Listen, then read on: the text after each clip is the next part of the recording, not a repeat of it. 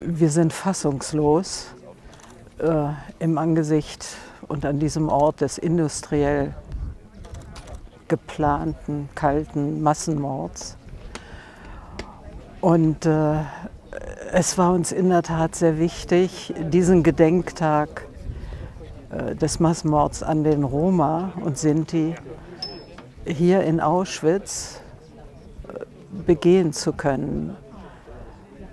Und unsere Dankbarkeit geht in der Tat an Romani Rose, den Präsidenten des Zentralrats der Sinti und Roma in Deutschland, aber auch an Dr. Josef Schuster, den Präsidenten des Zentralrats der Juden in Deutschland, dass sie diesen Tag mit uns gemeinsam hier in Auschwitz verbringen.